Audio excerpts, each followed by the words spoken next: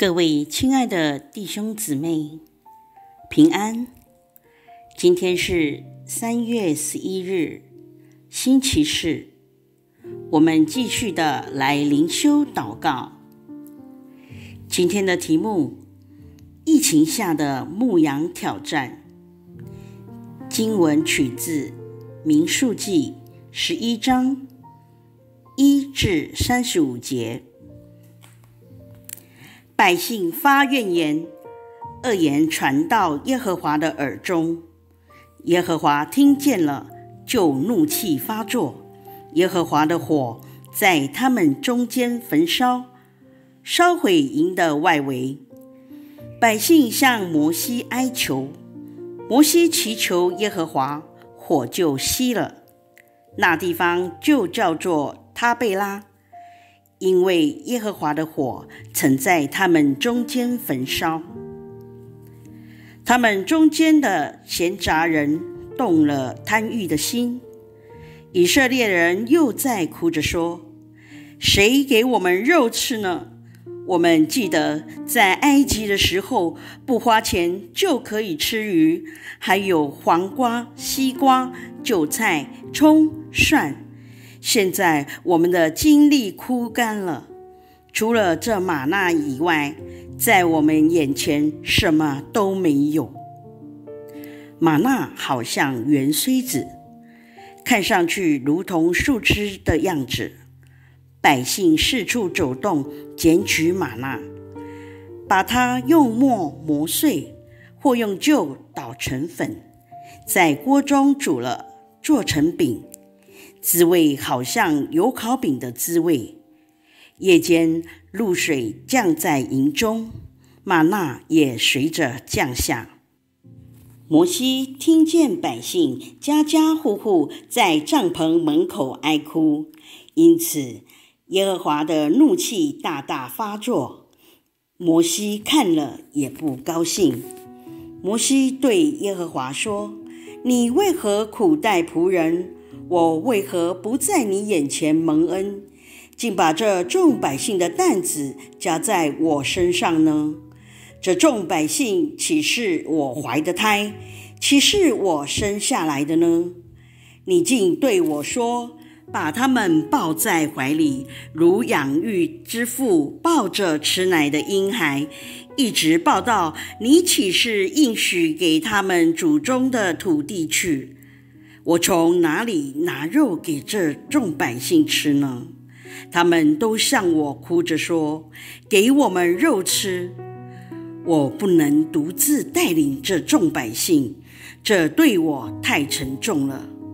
如果你这样待我，倒不如立刻把我杀了吧。我若在你眼前蒙恩，求你不要让我再受这样的苦。耶和华对摩西说：“你要从以色列的长老中为我召集七十个人，就是你所认识做百姓的长老和官长的，领他们到会幕，使他们和你一同站在那里。我要在那里降临，与你说话，把降给你的灵分给他们。”他们就和你分担带领百姓的担子，免得你独自承担。你要对百姓说：你们要为了明天使自己分别为圣。你们将有肉吃，因为你们哭着说：谁给我们肉吃呢？我们在埃及多么好！这声音传到了耶和华的耳中。所以，他必给你们肉吃。你们不只吃一天、两天、五天、十天、二十天，而是整整一个月，直到肉从你们的鼻孔喷出来，使你们厌恶，因为你们厌弃那住在你们中间的耶和华，在他面前哭着说：“我们为何出埃及呢？”摩西说。跟我在一起的百姓，步行的男人就有六十万。你还说我要把肉赐给他们，使他们可以整整吃一个月。难道宰日羊群、牛群就够给他们吗？或者把海中所有的鱼都捕来，就够给他们吗？耶和华对摩西说：“耶和华的膀臂岂是缩短了吗？现在你要看我的话向你应验不应验。”摩西出去，把耶和华的话告诉百姓，并从百姓的长老中召集七十个人来，叫他们站在会幕的四围。耶和华在云中降临。对摩西说话，把降给他的灵分给那七十个长老。灵停在他们身上的时候，他们就说预言，以后却没有再说了。但有两个人仍在营里，一个名叫伊利达，一个名叫米达。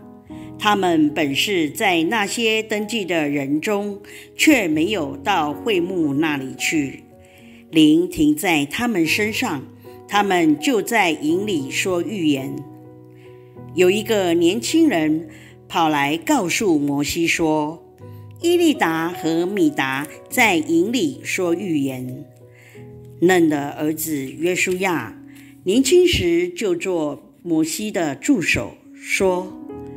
请魔主摩西禁止他们。摩西对他说：“你为我的缘故嫉妒吗？唯愿耶和华的百姓都是先知，愿耶和华把他的灵降在他们身上。”于是摩西回到营里去，以色列的长老也回去了。有一阵风。从耶和华那里刮起，把鹌鹑从海上刮来，散落在营地和周围。一边约有一天的路程，另一边也约有一天的路程，离地面约有两轴。百姓起来，整天整夜，甚至次日一整天，都在捕捉鹌鹑。每人至少捉到十鹤梅尔，各自摆在银的四围。但肉在他们牙间还未咀嚼时，耶和华的怒气向百姓发作，用极重的灾祸击杀百姓。那地方就叫基伯罗哈塔瓦，因为他们在那里埋葬了贪欲的百姓。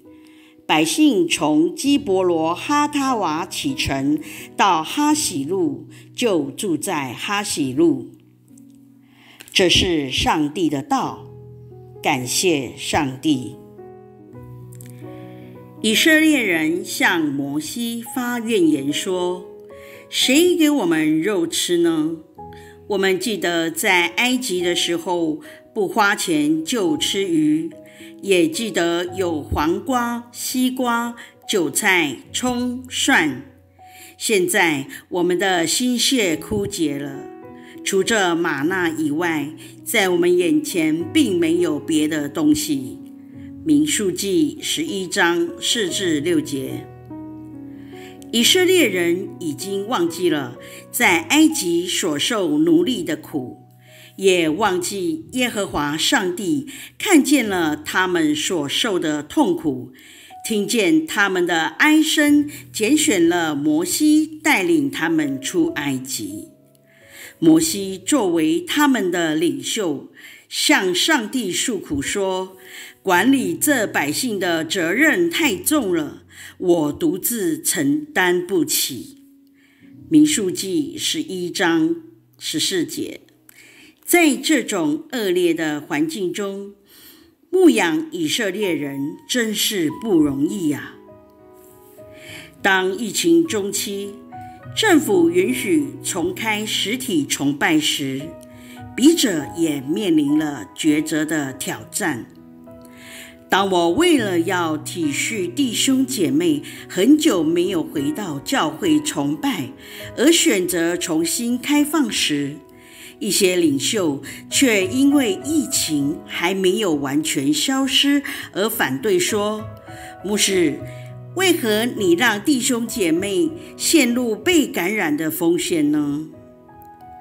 当我决定为了保护弟兄姐妹而选择不开放时，也有另一些领袖说：“牧师，难道你对上帝没有信心吗？”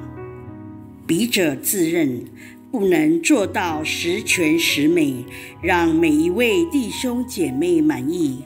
我只能尽心尽意寻求上帝的旨意，然后为教会做出正确的决定。我国的卫生部总监诺西山医生在领导前线人员对抗新冠肺炎的病毒时，也遭受国会议员对他工作表现的批评。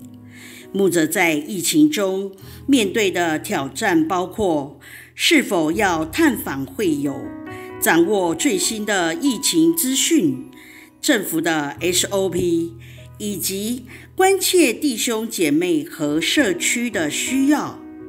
与此同时，他也得学习如何使用最新科技进行网上崇拜直播。牧者需要教会领袖们能多支持他们的决定，并一同牧养教会。他们也希望会友们能体恤在带领教会时所面对的种种挑战。讨论问题：你要如何协助你的牧者面对挑战和压力呢？让我们同心祷告，主啊，在面对这新冠肺炎的疫情时，求主赐给牧师有从主而来的能力与智慧，让所有的弟兄姐妹们真能体恤牧师的带领与教导。让领袖同工能与牧师同心合一的，一同牧养教会，共同抵抗疫情。奉主耶稣基督的圣名祷告，阿门。